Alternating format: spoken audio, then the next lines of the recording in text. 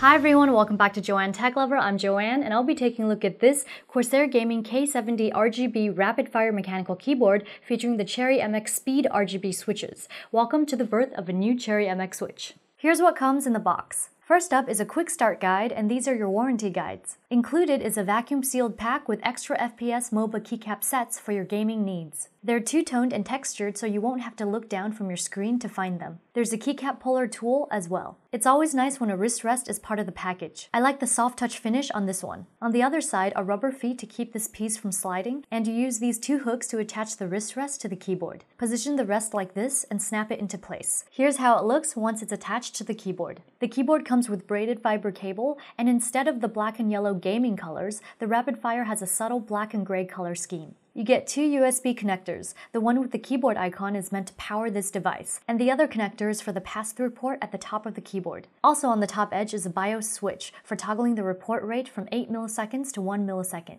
On the bottom of the keyboard are rubber feet to keep this unit in place on a smooth surface, as well as four angled feet for added height. Let's take a closer look at the keyboard. It measures 436 millimeters by 165 millimeters by 38 millimeters, and it weighs 1.2 kilograms. I'm glad to see an aluminum frame on this keyboard. It has a solid feel and premium look. More keyboards need this. The Rapid Fire, like the Strafe, uses large font on the keycaps, so more light will shine through. It also features 100% anti-ghosting with full key rollover on USB. There's a textured spacebar sandwiched in between the two Alt keys, and on the right corner of the keyboard is the brightness adjust button. There are three levels of brightness and no lighting. Next to that is the Windows Lock button. A blue light means that Windows is locked. Red means Windows is unlocked. To the right are the num lock, caps lock, and scroll lock indicators. It's such a relief to see a dedicated volume mute button and volume wheel. You won't realize just how useful those two features are till you have to live without them. Another perk are the dedicated media keys. I'm sure some of you put these to great use. Here's a closer look at the Cherry MX Speed RGB switches. You get an ultra-fast actuation distance of 1.2 millimeters, which is a little more than half that of a standard Cherry MX switch,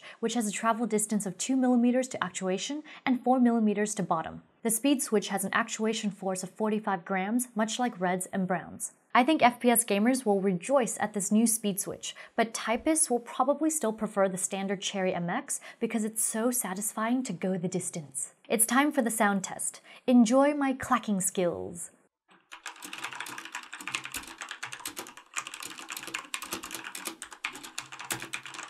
Now, let's take a look at the Corsair Utility Engine software. First up is the Profiles tab. Click New to create a new profile, and you can link profile to program if you want. Here's the option to import or export profiles. Click on this arrow to select a profile. I'll go with Adobe. This menu will allow you to edit or delete a profile, as well as save profile to device memory. Below profile is mode. This is where you can create additional profiles within a profile. Click the plus icon to create a mode. Let's create one called Premiere and another called Photoshop. Click here to edit or delete a mode along with other options. Let's pick Premiere and head into Assignments. Each mode will have separate assignments, lighting, and performance tabs. Mouse over the key you wish to assign an action to and right click. This menu will allow you to set a specific key to mode or profile selection switching, which can come in handy so you won't have to use CUE every time you need to switch. To get to the macro editor, select Assign New Action. In addition to creating macros, you can also play with the other actions editors such as text, which could be useful for emails. Timer is pretty cool in that you can set timer countdowns via key press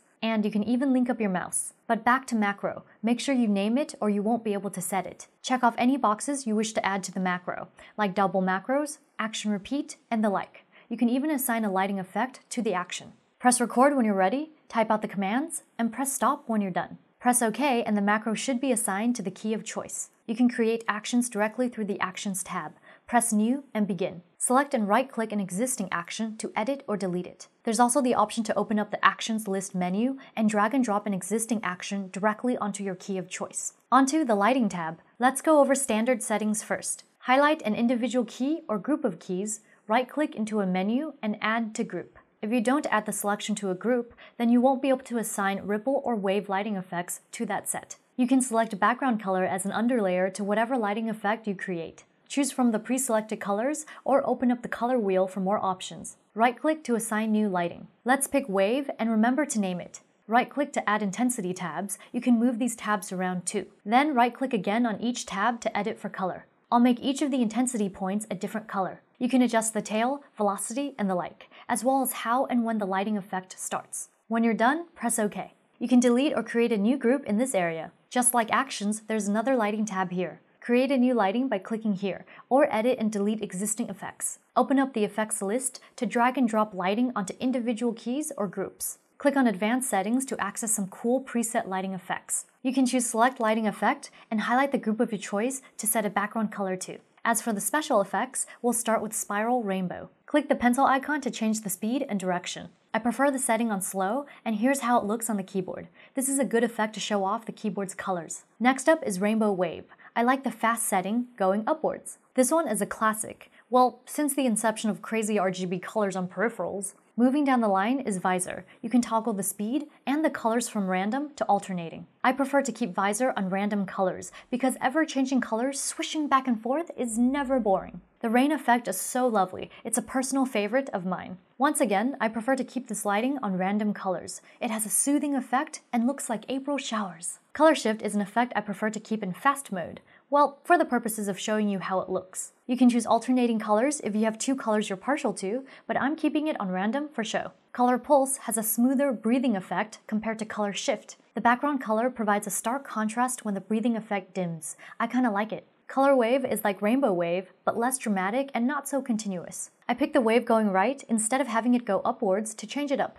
As you can see, there's a different color with each wave because I did not select alternating colors. Type lighting key is the most sensible choice in my opinion for daily use. It's not loud or distracting in any way, and yet it provides some lighting for effect. I'm usually not in a dark room, so I don't need the LEDs to be on at all times. Finally, we have type lighting ripple. It's the same idea as type lighting key, except with ripples. It sure is pretty when pressing one key at a time, but when you input multiple keystrokes repeatedly, it starts to look like a rave. Good thing or no? I'll conclude the software tutorial with a few more things. Here's the Performance tab. You can disable or enable certain functions. In Settings, under Device, you can change the keyboard layout and update firmware. In Program, there's the option to play with general settings, OSD settings, and more. If you need the user manual or tech support, it's all here. That wraps up this look on the Corsair Gaming K70 RGB Rapid Fire Mechanical Keyboard featuring the Cherry MX Speed RGB switches. If you like what you saw and you want to see more like it, be sure to hit the like, comment, and subscribe buttons, as well as follow me on social media. Joanne Tech Lover Facebook, Joanne Tech Lover again on Twitter, and Joanne Tech Lover once more on Instagram. Also, be sure to follow me on my other YouTube channels, JTL Lifestyle, JTL Cuteness Overload, and JTL Love Life and Advice. I guess I'll bid you adieu with a kiss. Mwah!